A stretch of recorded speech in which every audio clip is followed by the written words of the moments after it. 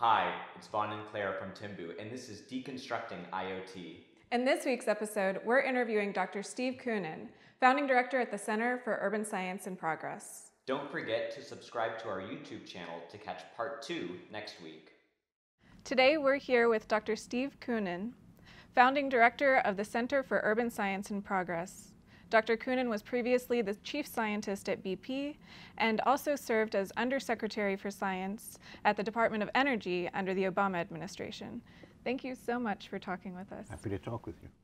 So CUSP is coming up on its third anniversary um, after having established itself as a leading institution in urban informatics research and um, choosing New York City as its living laboratory.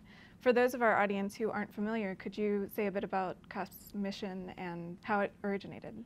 So CUSP is part of New York City's Applied Sciences Initiative, which was started by Mayor Bloomberg about five years ago.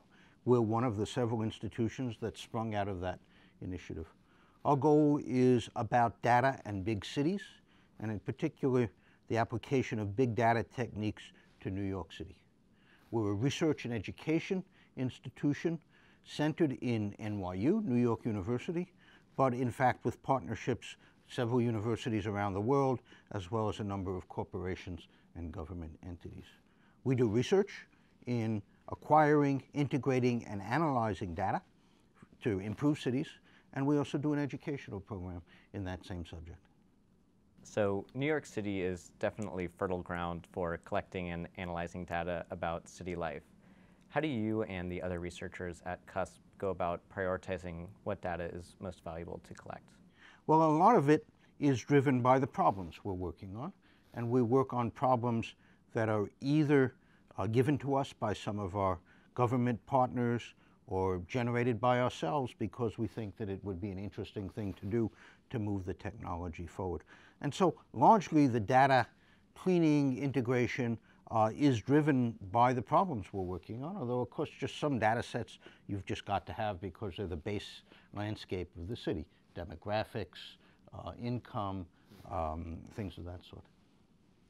So research of urban life is certainly not new. We've had census data, um, hospital records, crime data for a long time, but uh, sensing tools and IoT technology are making it possible to collect new kinds of data.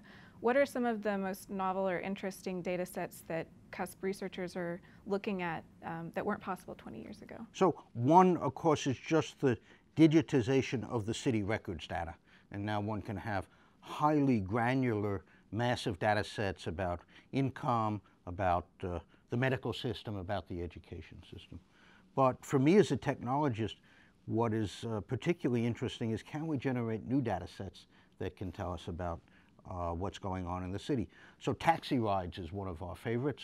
Uh, five years ago or six years ago, the Taxi and Limousine Commission uh, mandated that all taxi rides should record their start and stop locations, their time, their fare, their tip, and so on.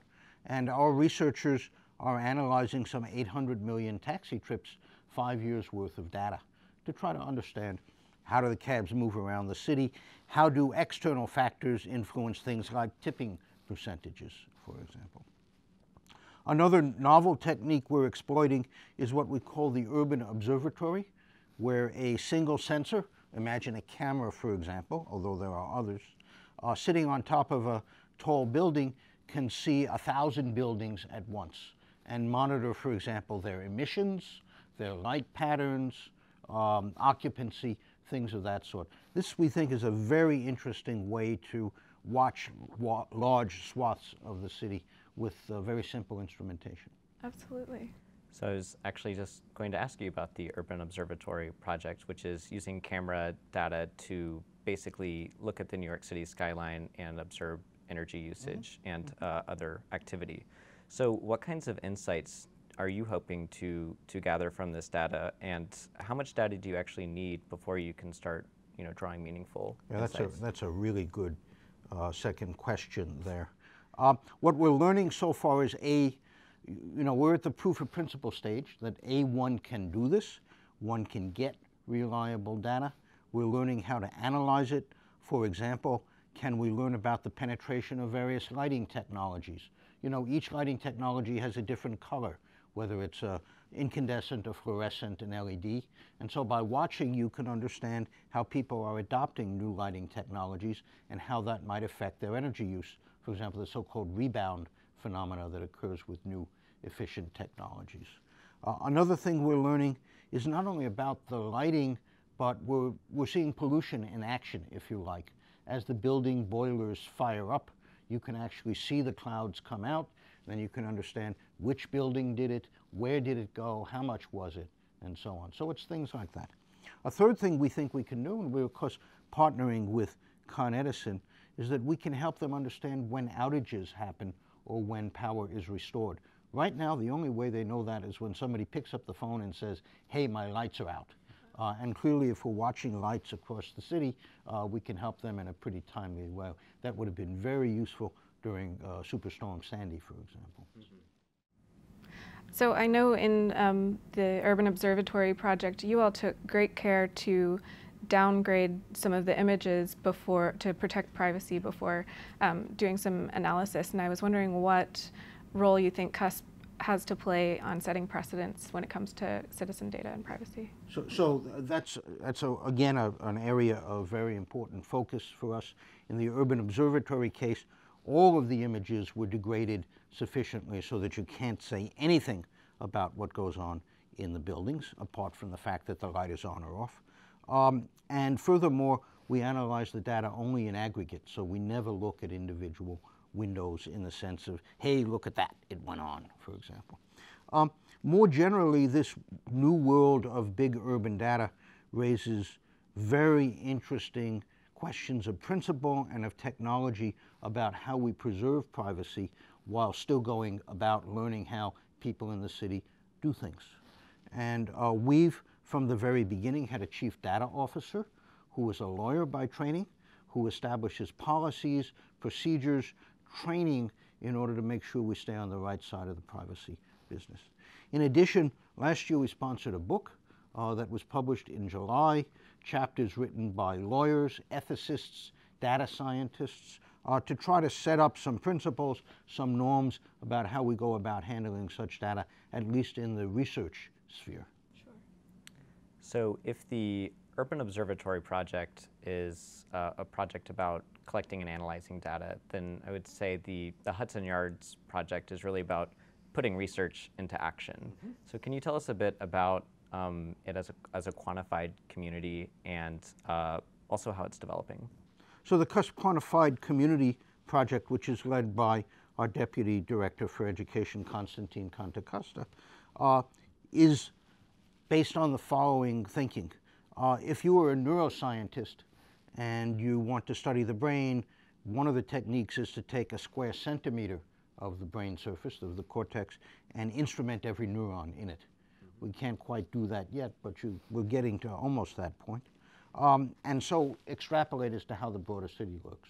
So the question is, can we take a slice of the city uh, with, let's say, 10,000 people in it, living, working, uh, and fully instrument it and use it to understand principles about how the broader city works. Uh, we're working on realizing that vision in collaboration with Related Company, uh, which is a big developer here in New York City. Uh, Related is doing the Hudson Yards project, which is a very large real estate development on the west side of Manhattan. And in partnership with them and a number of other companies, as you might imagine, a lot of real estate people, a lot of building technology people, a lot of social scientists are interested in this kind of project. So we're working out what sensors do you want to put to monitor the building, to monitor the environment, to monitor the people, uh, and then how would you use those measurements to go about extracting insights that you want. Uh, again, privacy is integral here to it, even more so than in the other projects we've talked about, uh, and we're working through all of that. As you mentioned, there are a lot of interested parties who want to know about this data. What is the process of partnering with city government organizations and corporations, and what are some of the challenges when it comes to integrating sensor systems in a project um, like this? So CUSP is a partnership. We have a number of corporate partners, some large companies, the utility companies. Uh, we work with some small companies.